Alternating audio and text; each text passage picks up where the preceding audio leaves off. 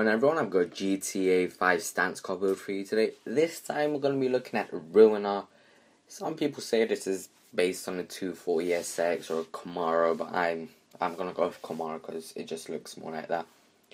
For the theme of today's build, I went loud and proud.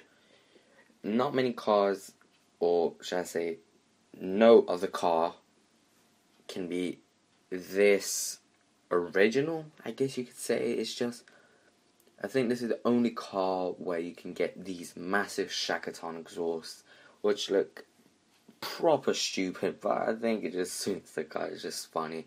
As I said, I don't think any other car has a Shakotan exhaust as big as this, so I wanted to put them on. As I said, uh, the theme is loud and proud, so I did go for very, very original bright color. I don't actually remember. I did. Uh, I am doing this commentary one week after recording, so that's probably not the smartest thing to do. But uh, you know, I was on this little recording spree. and I'm like, you know, might as well just get the whole next week, next week's uh, car build just made and do the commentaries later.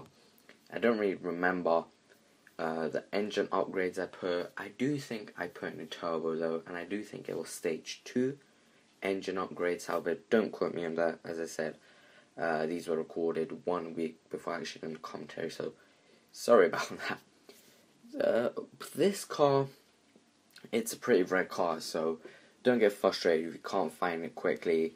Uh, in single player, it took me didn't take me that long because I think rare cars spawn more frequently in uh, single player. But if you are looking for this car in multiplayer, don't get frustrated. I did want to find one. I found one, and then stupidly enough, I'm like, I don't really want one. And then, uh, you know, the next day, so today, uh, I'm like, you know, I could really do it for Ruiner. And now I can't find one. So, as I said, don't get frustrated, and eventually we'll find one. Overall, give this car six, maybe out of ten. Not the best looking car. Uh, Shakotan exhaust make it look even more stupid, but it's a good car to take if you're going to a big uh, original like take original cars and like to call me like that but I don't know whatever. But let me let me know down in the comments below what are the cars you'd like to see. Anyways thanks for watching and I'll catch you all later